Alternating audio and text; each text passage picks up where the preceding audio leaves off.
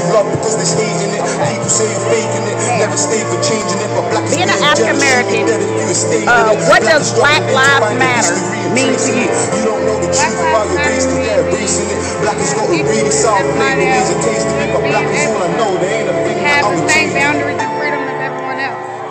Okay. And what advice could you give to these young black men that are getting pulled over by the cops? Um, my advice would be just follow the rules Look, much as you can. a single column and the shades to it. Her hair straight and but mine's got Okay. waves in it. Black is not My next divisive, question they've been lying is, and I'm hating it. Black When George Floyd died, how do you feel about what that cop did to you're you? freezing in your home and Um, seeing that, it made me sick, made me you got 20 disgusted, it made me feel like that no one on our side.